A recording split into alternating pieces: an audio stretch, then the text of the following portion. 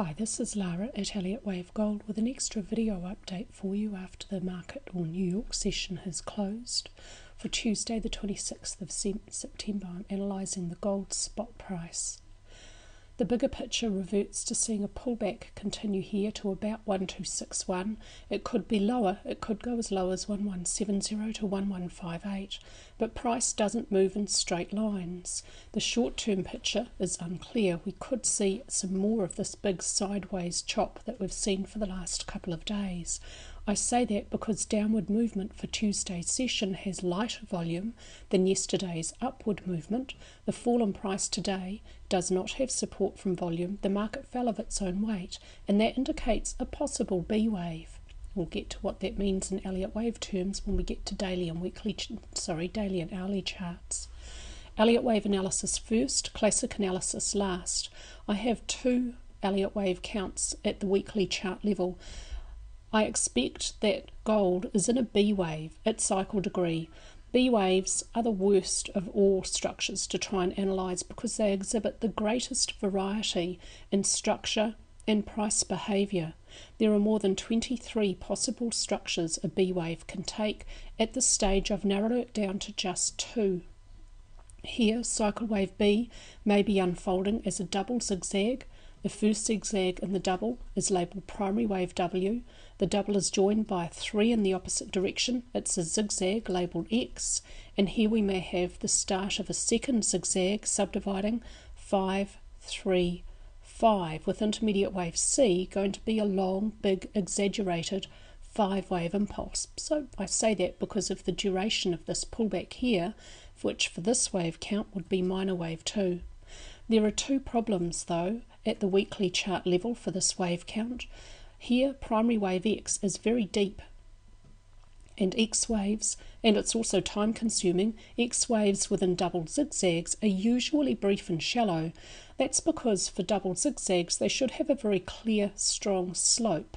To achieve a strong slope, if they have big time consuming corrections, it gives them more of a sideways look. The second problem is within primary wave Y, the structure for intermediate wave B has a really good fit and could be a double flat correction. But in my over nine years, nearly 10 years it'll be soon, of daily Elliott wave analysis on up to, well, from one to five markets, and all of that time, I'm sure I've only seen one double flat correction, which in hindsight was definitely a double flat. I think that they're actually very, very rare structures, rarer even than running flats. The rarity of this structure, which has to be seen in this way to make the wave count work, must necessarily reduce the probability of this wave count at the weekly chart level. If primary wave Y is unfolding as a zigzag, it'll be 5, 3, 5, and we can draw an Elliott channel around it from the start of A to the end of B with a parallel copy on the end of A. It's around about where price is finding resistance. It fit, fitted perfectly here, and we've got overshoots. That's okay. Along the way up, downward corrections should find very, very strong support at the lower edge of the Elliott channel. If minor wave 2 is a deep time consuming correction, it can't move beyond the start of 1, below 1205.41, but it shouldn't get near that point. It should find such strong support at the lower edge of this Elliott channel. If it does reach that deep, that should be where price strongly bounces. If this trend line is properly breached at the daily chart level by a full daily candlestick, below and not touching this trend line, I will discard this wave count at the weekly chart level prior to price invalidating it because a clear, strong breach of this support line would not be expected if primary Y is continuing. When I have more structure with an intermediate wave C to use to calculate the target at minor degree, at that stage it'll probably change. For now, we'll leave it the same at 1452, where primary Y would reach equality in length with primary wave W, and it would achieve its purpose. This purpose of the second zigzag in a double is to deepen the correction. Now, while this is labelled WXY, it can't be a combination for cycle wave B. If it was a combination, we'd have to be seeing primary Y as a flat correction. We'd have a zigzag for the first structure, and the second structure would be a flat expected.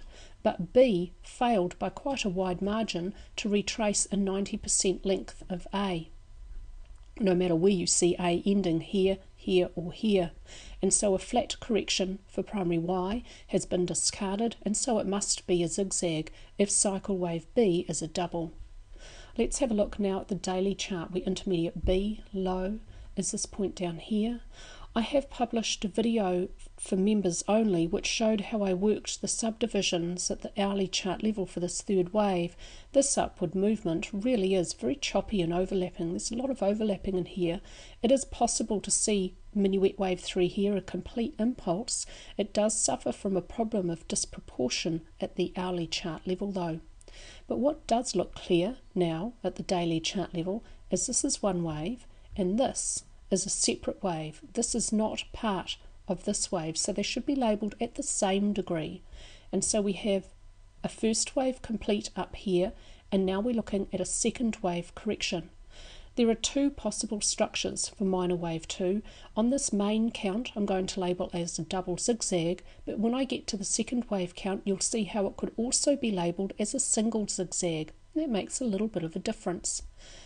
Let's look at the double zigzag first. If this labelling is correct, we've got a 535 zigzag complete down here, the first zigzag in the double. We should have a brief shallow X wave in the opposite direction and now a 535 zigzag continuing lower for minute wave Y. That may pull minor wave 2 down to reach the 0.618 Fibonacci ratio of minor wave 1 and that's a really common place for a second wave to end. Now here's the problem. If minor wave 2 is a double zigzag, if this labelling is correct, then we really should be expecting minute wave x to be over because double zigzags should have a strong slope against the prior trend. This should have a strong downward slope.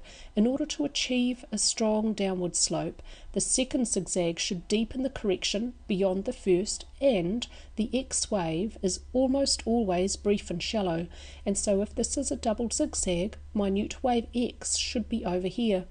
I am a little bit concerned about that labelling though, because there is a bit of a lack of support today from volume for this downward movement. The market fell of its own weight. And so when we get to the daily chart for the next wave count, you'll see another way it could possibly be labelled. Let's have a look at how it fits if it's a double zigzag at the hourly chart level, where minute wave W is this point down here. From this low to this high, what does look very clear now is this upward movement is a three wave structure. You could try and see it as a five, but I think that really would be pushing it. It subdivides very nicely, five, three, 5 as a zigzag. Now that could be minute wave x complete or it could be just the start of minute wave b to continue sideways and higher. We'll look at that idea when we see the labelling for the second wave count. And so the labelling for the short-term subdivisions will fit both ways for both wave counts. If this is an X wave, then it's a brief, shallow zigzag in the opposite direction, and now we'd be looking for a 5 3, 5 zigzag downward to complete minute y to pull minor 2 down to the 0.618 Fibonacci ratio of minor wave 1. Within it, minuette B may not move beyond the start of A above 1313.39. But here's where minuette wave B, if it turns out to be a deep bounce, should find very, very strong resistance.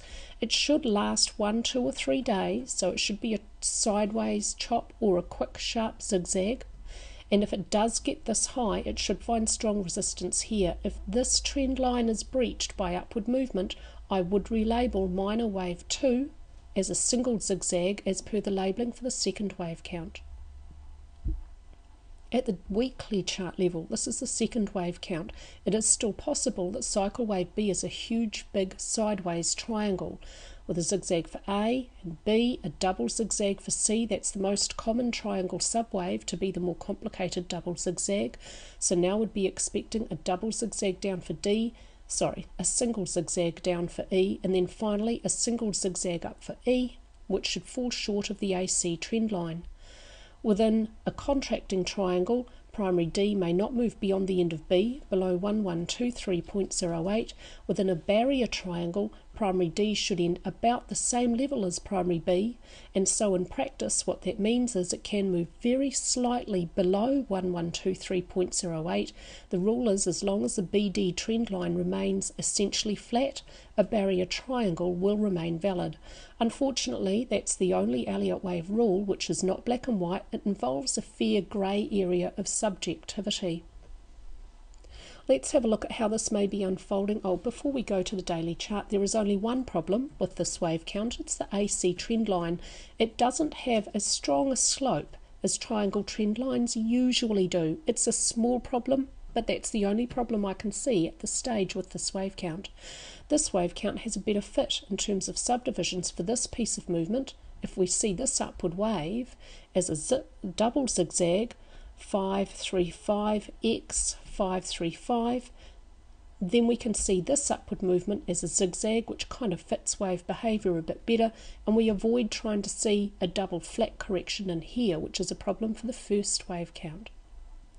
Okay, let's take a look at the daily chart now where the high label primary C is this point up here.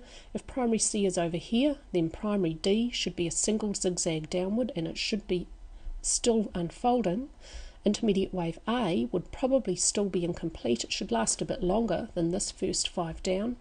And so we may have a five unfolding three and then a five down for a third wave. I'm going to label minor wave 2 here as incomplete and notice that from this high to this low I've got two different ways of seeing this downward movement and this is the core problem with Elliott wave rule and why using classic analysis is such a big advantage. Sometimes, or not sometimes, actually quite often, it's absolutely impossible to tell with certainty if a wave subdivides as a three wave zigzag or a five wave impulse. And there are two ways to see this downward movement. It could be seen as a five or it could be seen as a three. Here I'm looking at it as a five. We have an impulse for one. This is a double combination, not a running flat. This is a double combination for two. Impulse for three, zigzag for four, impulse for 5. And so it could be a 5 wave structure down here, now to be followed by a second wave correction. The labelling for the first wave count at the daily chart could also be a 5, incomplete 3, and then a 5 down because 1, 2, 3 of an unfolding impulse subdivides 535 exactly the same as an unfolding zigzag. Now our attention has to turn to the structure of minor wave 2. It could be possible to label it over here, but that would be really far too brief and shallow for a second wave correction.